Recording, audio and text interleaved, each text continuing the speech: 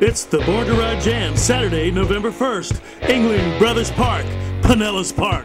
See and meet the stars of the Sons of Anarchy, Opie, Bobby, and Emilio Rivera.